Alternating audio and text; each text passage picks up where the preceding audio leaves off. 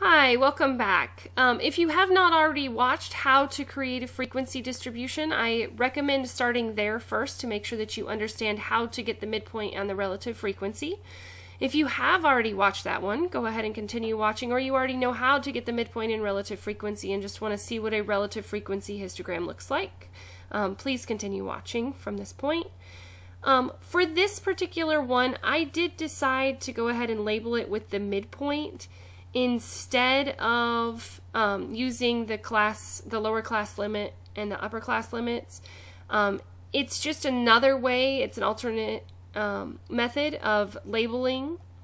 So with this one, we would start with the 51, 60, 69, 78, 87, and 96.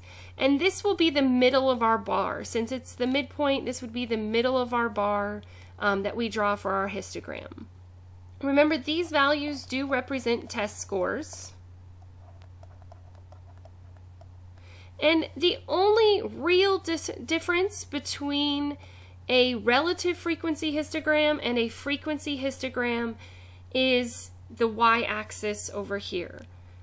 I could have just as easily on this one labeled it with the lower limits, and that's just, again, a matter of preference. But for the relative frequency, instead of having just the counts, we have the proportion or the percentage um, that fall in each category. So we would label this as relative frequency. You could also label it as the portion or the percent, the proportion or the percent. Um, I'm going to count by 10% or 0.10, 0.20, 0.30, 0.40. So 0.10, remember, is the same thing as 10%, 20%, 30%, 40%. So if you wanted to put this as percentages, that is another alternative. There's a lot of choice with these. Um, so what would we, we would do is we would take our bar, it's going to be centered at the 51, and we would go up to where we felt that it's about 6.7% of the way.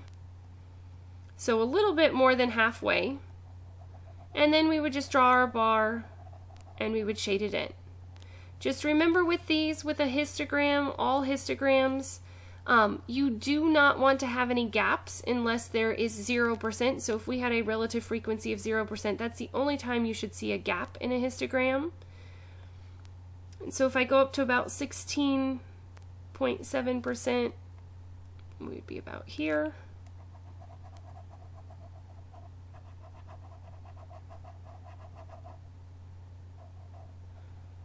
I kind of made this one a little bit thicker, so I'm going to go ahead and grab this blue again. Try to straighten that up a little bit. Alright, for the next one, 13% would be down just a little bit less.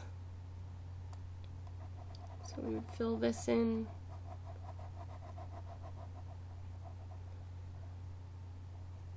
Our next category is the mode of the data or the one that occurs the most often. So for this one, we would go clear up to 33% or 0.33. So we would draw our bar in. Try to keep them about the same distance. When you are freehanding this, it does not turn out nearly as good as it does using technology to help you um, but do make sure that you are cognizant of the fact that there cannot be gaps unless there is a frequency of zero, so avoid leaving spaces in between these intentionally. Um, for the next category, we're at 20%. This is a nice easy one because it falls directly on the line.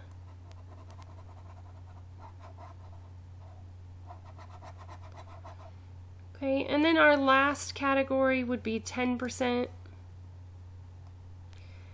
And the overall shape or distribution of this is the same as the one that we looked at with just the frequency histogram.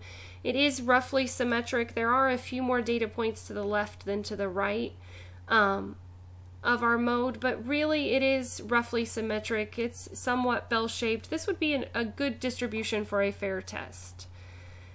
Um, so like I said before, the relative frequency histogram, the shape is the same as the frequency histogram. The only difference is in the labeling of the y-axis. Thanks for watching.